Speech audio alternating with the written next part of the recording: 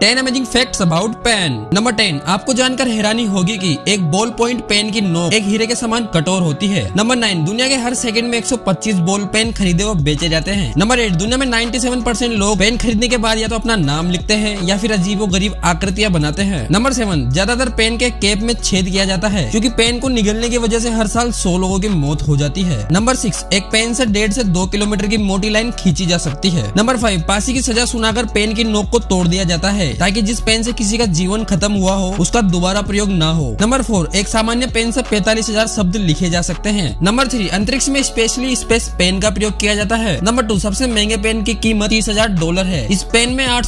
कीमती हीरे लगे हुए हैं नंबर वन यदि कोई आपसे पेन मांगे तो उसकी ढक्कन हमेशा अपने पास रख लें क्योंकि बिना ढक्कन के पेन को बहुत कम लोग ही अपने जेब में डालते हैं